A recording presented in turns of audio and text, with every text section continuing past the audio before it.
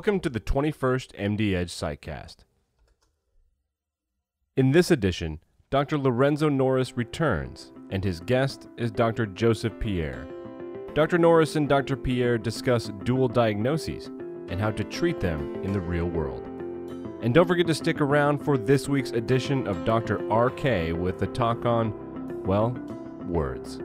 Here now, Dr. Lorenzo Norris.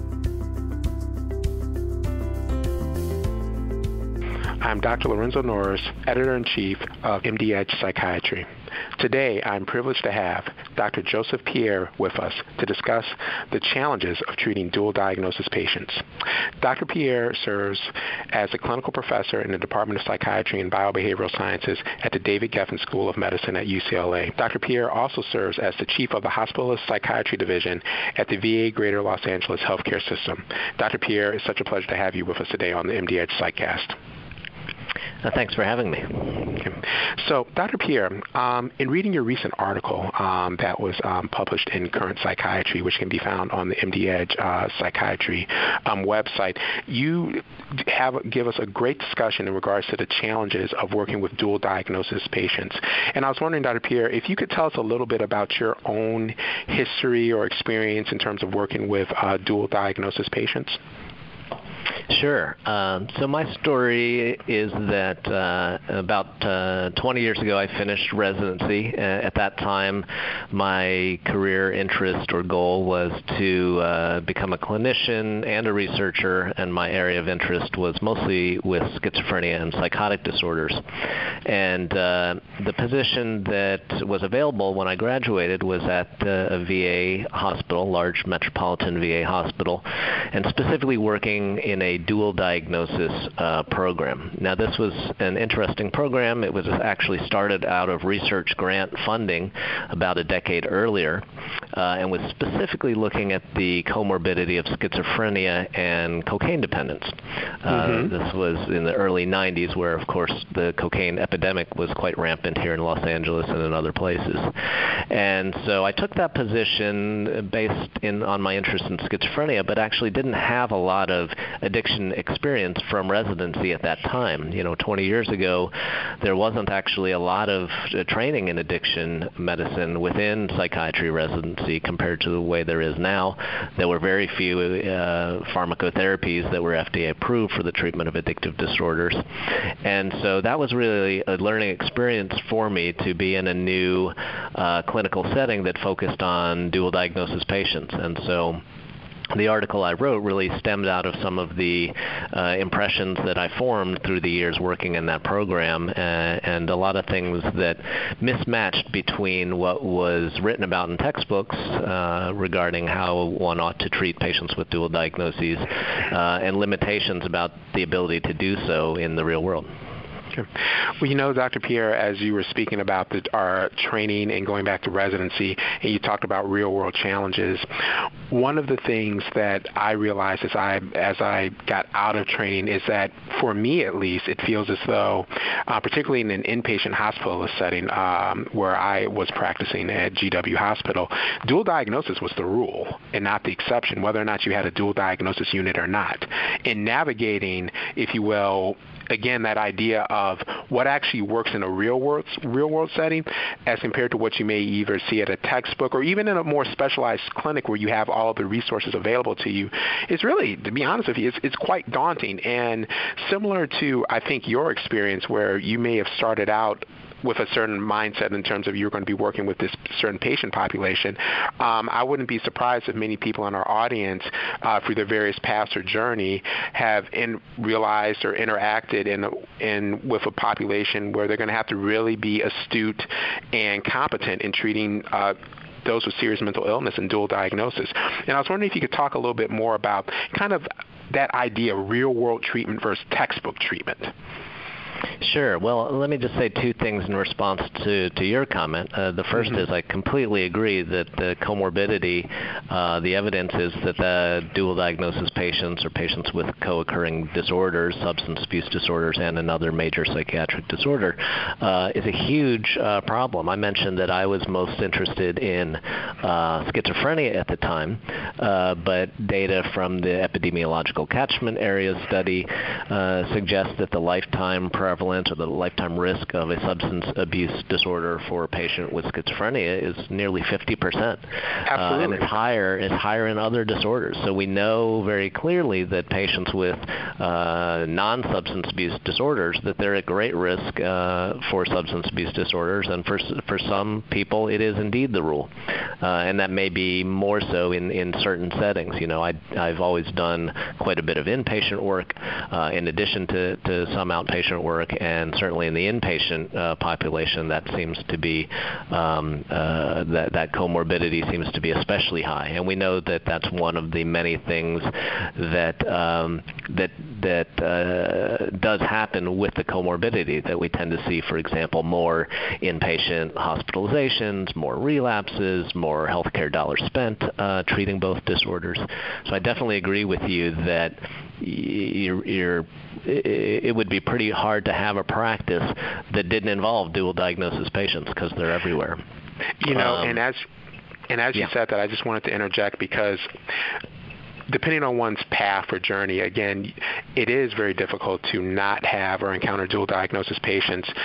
In my role, I've been you know, privilege in that I could work in the hospital, but also work in an outpatient practice with a quote unquote different patient population. But this is, and again, this gets into that idea of what you said, real world versus uh, textbook, but also it speaks to me sometimes biases we have to be mindful of. I've encountered over the years, and probably many of our colleagues who practice outpatient psychiatry, is that actually I have a high number of patients in my outpatient private practice setting. Um, you know, fee for service um, that are dual diagnosis, it just isn't necessarily as overt at least on initial presentation, as it is in an inpatient setting. So even though at times when I thought I was transitioning, you know, to outpatient and I wouldn't necessarily have to deal with dual diagnosis, in many ways recently, I can't speak for other people out there in the audience, but I feel as though I'm in certain ways dealing with it even more. So uh, with in certain ways, as a uh, when I'm doing when I'm in my outpatient setting, in certain ways less resources. So um, that's kind of when you were talking, I, I really did think about that idea of, you know, we really it, dual diagnosis and co-occurring disorders definitely are present, and we in trying to figure out an evidence, knowing an evidence-based way and approach to work with our patients to serve them is really something that we have to be focused on. Yeah, and and that's exactly one of one of the big areas of mismatch when I talk about textbook treatment versus real world mm-hmm. treatment is that uh, the majority of certainly pharmacotherapy studies for disorders like schizophrenia or other other major mental illnesses, uh, one of the most common exclusion criteria for for participation in those studies is uh, active substance abuse, and historically yes. some some studies have require uh, have even uh, excluded simply having a diagnosis of substance abuse, whether active or not. More recently, studies will often require three months of uh, sobriety or abstinence from substances mm-hmm. in order to be in a study. Uh, but if you're working in a dual diagnosis population, that might be you know five percent of your patients who have three months of sobriety.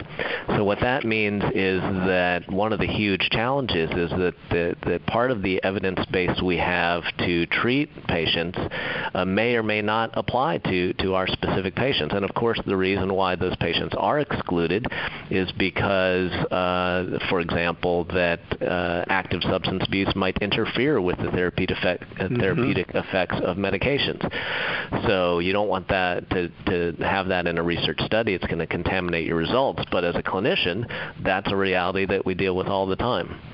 And I think for me, uh, when I started working in dual diagnosis, uh, as I mentioned, I didn't I feel like I didn't get a lot of training within residency. Mm-hmm. It was mm-hmm. definitely an ongoing process once I was a attending and a faculty member to teach uh, myself and to learn from my colleagues about uh, addiction and about uh, dual diagnosis.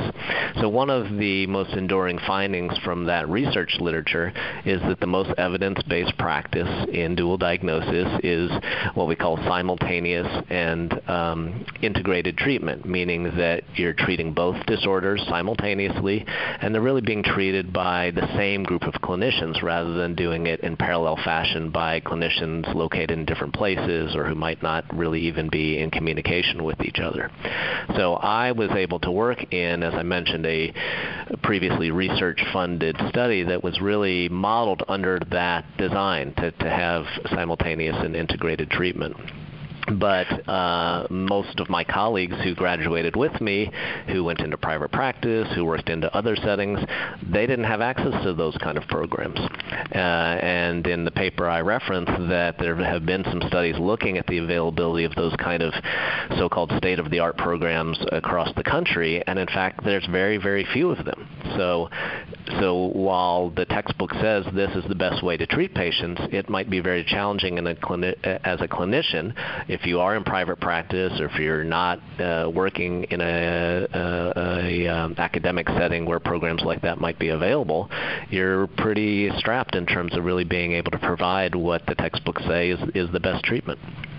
You know, I absolutely agree with you on that, um, and I'm um, really focus on because some people in the audience may not know exactly you know what an IDT uh, program is, but that idea of simultaneous and integrated uh, is huge because many clinicians, myself included at times, depending on where you're at, you're not able to do that. You would do what you just described as that parallel treatment. If I'm understanding you correctly, you would treat the patient and then you might refer them out, if you will, for either uh, right. the behavioral treatment for their substance use disorder or to a separate clinic.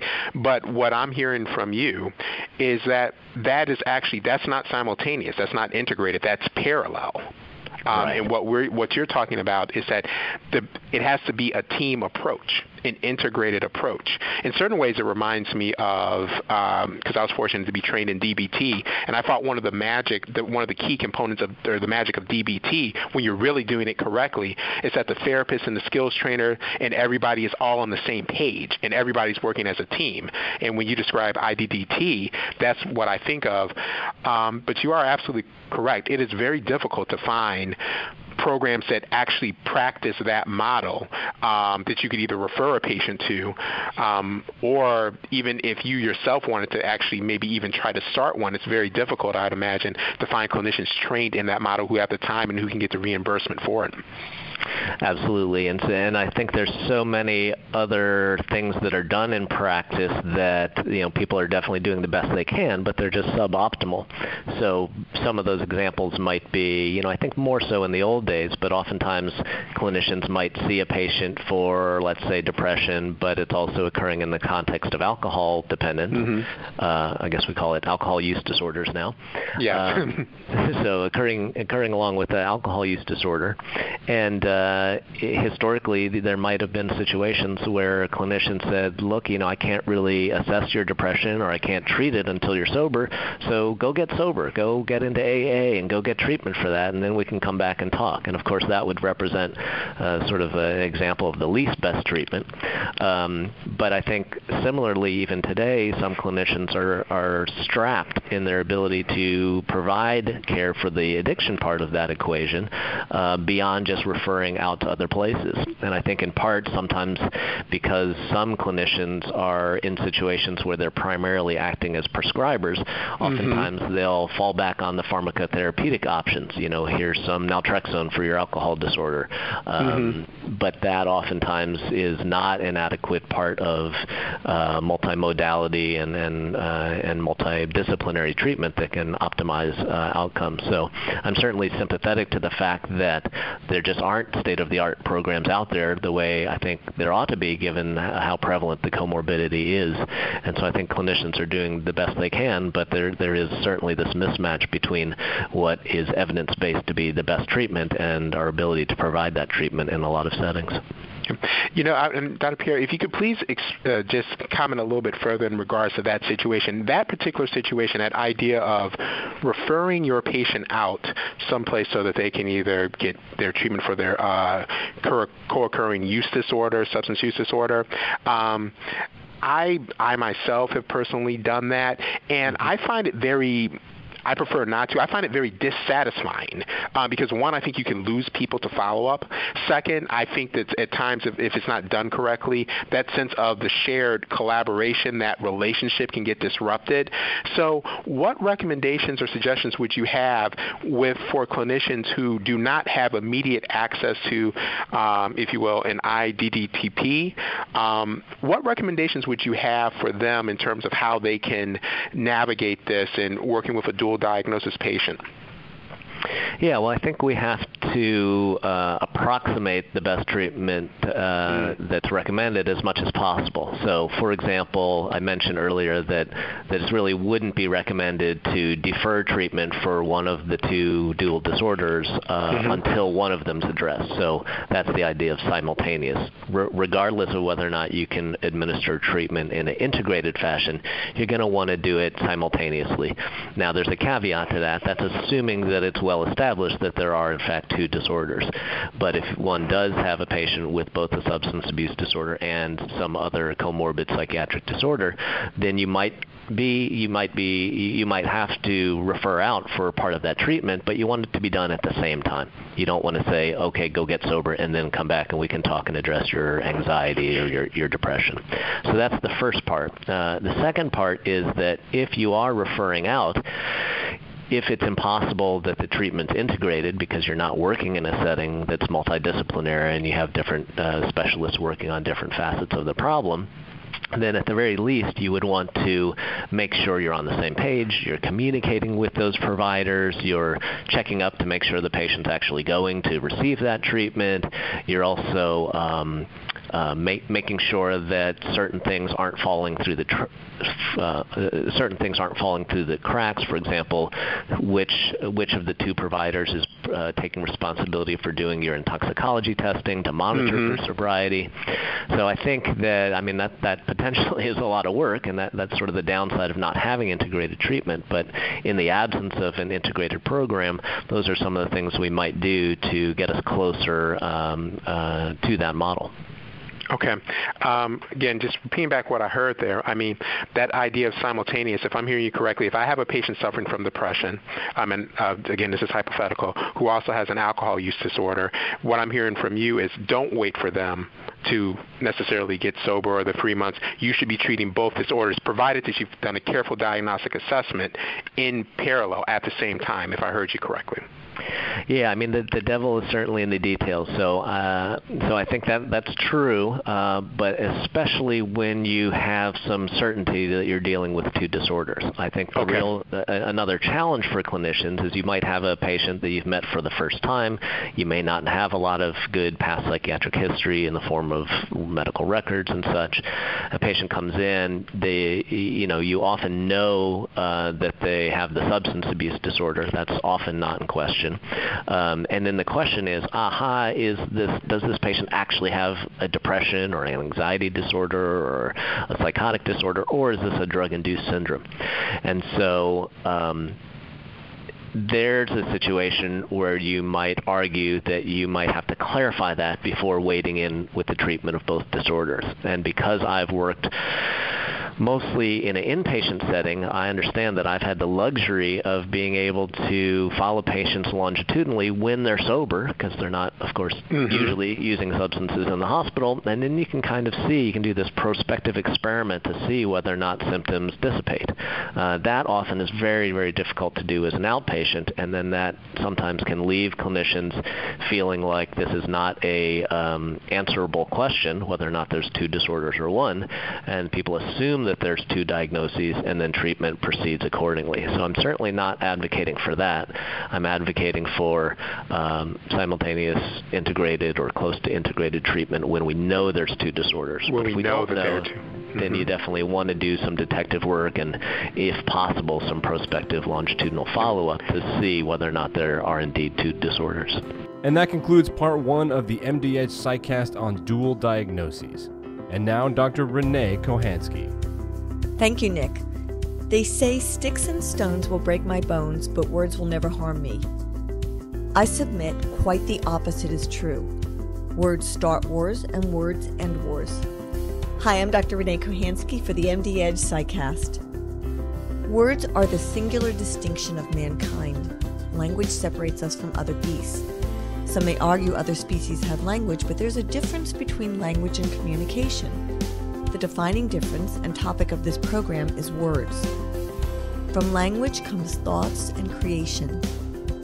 Helen Keller has said that before she had words, there was nothing. In her book, The World I Live In, she describes life before words. I did not know that I am. I lived in a world that was a no world. I cannot hope to describe adequately that unconscious yet conscious time of nothingness. I did not know that I knew aught, or that I lived or acted or desired. Powerful and profound thoughts. One could argue that the integrity of a man is ultimately his word, that one doesn't actually have their word, they are their word. In this world of internet, interconnectivity, and pseudo-anonymity, we sometimes act as if our words don't matter or don't actually belong to us, that there are things and not people on the receiving end of these sometimes charming contributions. Yes, we do have to keep our own selves in check. Now, let me be clear I am talking about actually choosing our words. A great example can be found in parenting our children. We've all had a kid do something that maybe they weren't supposed to do, and it's actually adorable, but we definitely don't want to reinforce that behavior. We want to send a message that what the child did was wrong. So, what do we do? We hide our laughter and instead we choose a stern voice and admonition. The admonition is essential. Let me suggest something else. On the topic of words, we may have an incredible opportunity to contribute maybe even on the macro level. Our special sauce is the ability to not judge, to question, to explore, to push on the very edges, and to challenge, regardless of topic. We can create openings into discussions and maybe even invite people into a conversation of exploration. And I'm talking about outside of our professional role as psychiatrists. It's just a thought, or maybe a word. I'm Dr. Renee Kohanski for the MD Edge Psychcast. And that wraps up the 21st edition of the MD Edge Psychcast. We'd like to thank Dr. Pierre for talking with Dr. Norris. You can find a link to Dr. Pierre's article on dual diagnoses by clicking the link in the description. Be sure to come back next week for part two when they talk about avoiding clinical errors. For Dr. Norris, Dr. Pierre, and Dr. Kohanski. I'm Nick Andrews, and this is the MD Edge Psychcast.